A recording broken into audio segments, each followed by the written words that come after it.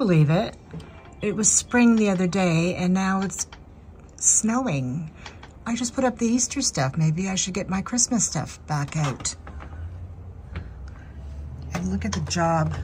Look at the number it's doing to my front porch. All the paint is peeling. Ew. We gotta redo it this year, man. Anyway, maybe I can make a snowman later.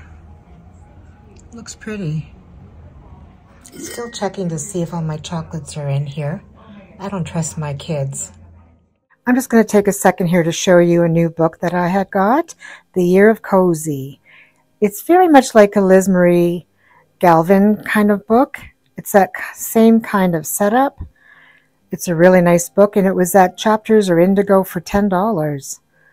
See, it's got all the different um, months like spring, fall, winter, and it gives you some information um, you know, just some fun things to do for that season, some recipes, some crafts. It's a really nice little book. And the author is, if I can remember, her name is Adrianna Adarme. So I went shopping again and I found this cute little wicker basket at uh, Home Sense. And I went to a bulk barn to find some some candies for my coffee bar. And I found some Eggies and some little chocolate Easter bunnies that have caramel inside. Look how cute they are.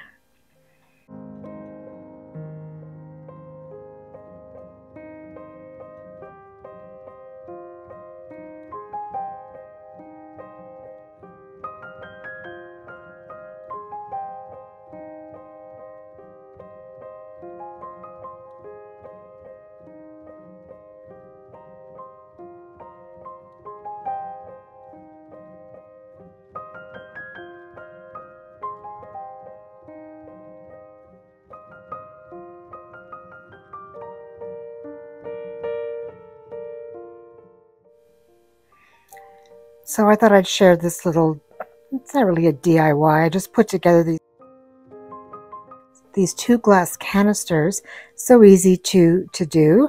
I just added some moss to the bottom.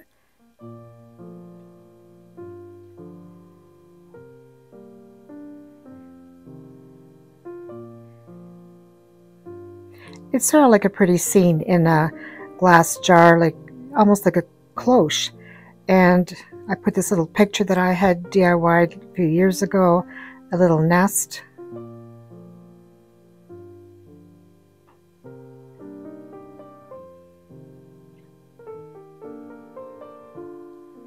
And in the other one, I'm just using a page that I tore out of an old book, just folding it so that it stands up in the jar.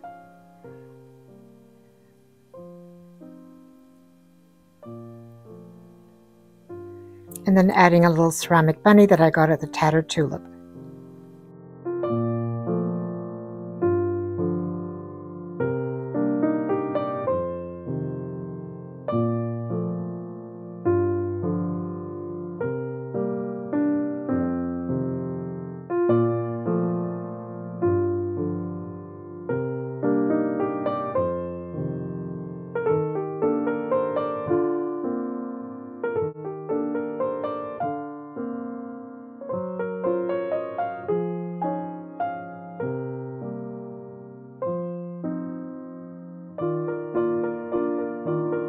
Went to the uh, thrift shop and I've been looking for some vintage antique kind of looking books for using them for risers, decor, and I found some and they were $2 each.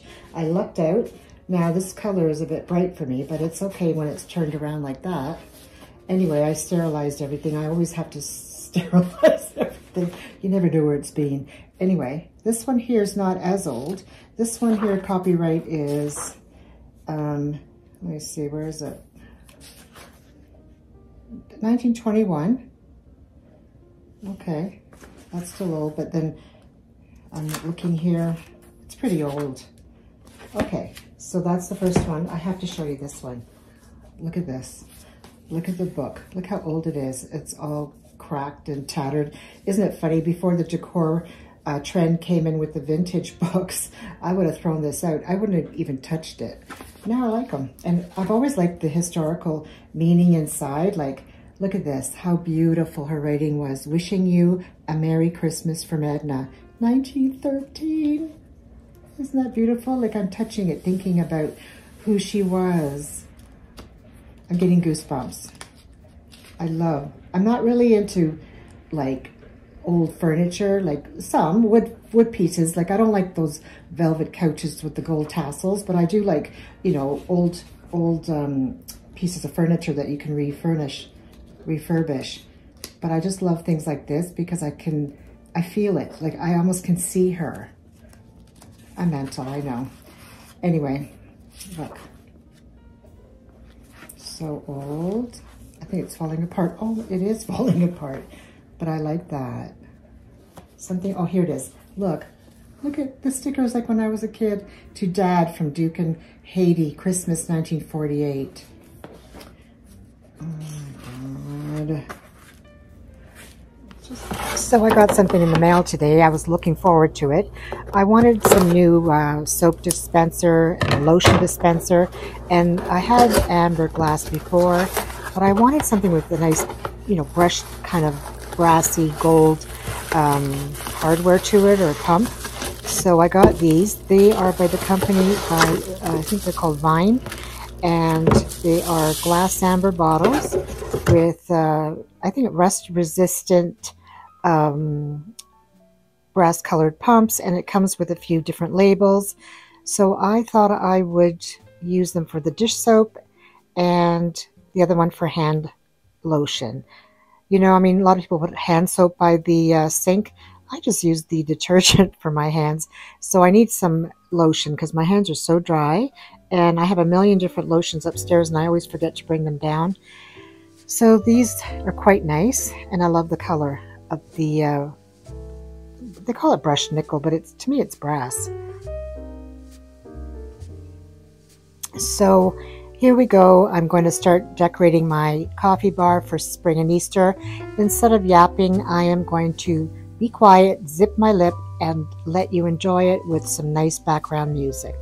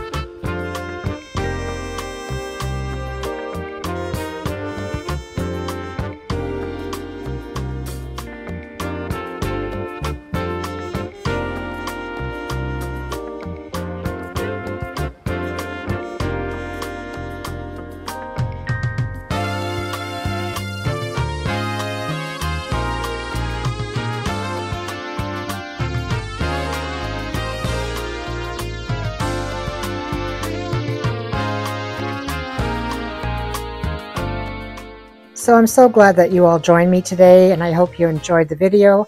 Until next time, take care friends.